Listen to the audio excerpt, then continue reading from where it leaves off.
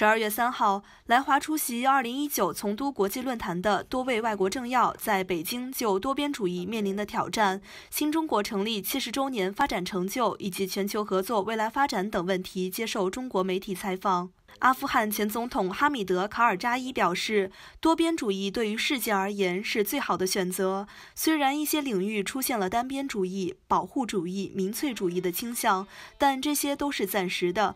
多边主义仍是国际社会中的主流趋势。While we see some efforts towards unilateralism, but we also see a broader coalition of countries working together. I also believe that.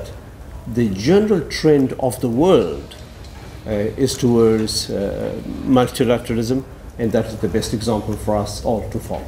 斯洛文尼亚前总统、世界领袖联盟后任主席达尼洛·图尔克认为，中国的一带一路倡议将促进国际社会多边主义合作。China has a vision of development which is based on its own experience, its own potential, but is offered to partners in the world.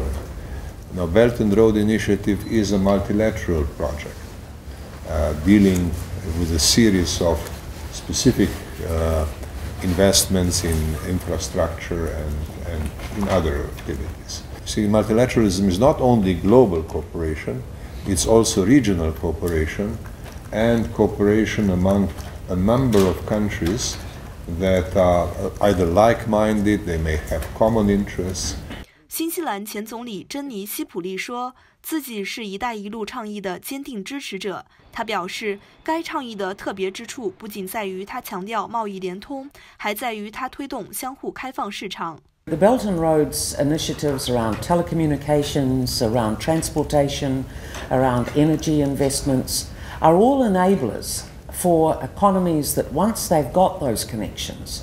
Then they can move through into producing goods and services and trading effectively with their partners. 多位前政要在采访中提及联合国、世贸组织等国际组织的改革问题。他们普遍认为，以联合国为代表的国际组织应进一步完善其代表性，更好地造福世界。同时，他们也认为，诸如二十国集团、亚太经合组织等机制会促进各参与方的发展与繁荣。带来更多合作机会。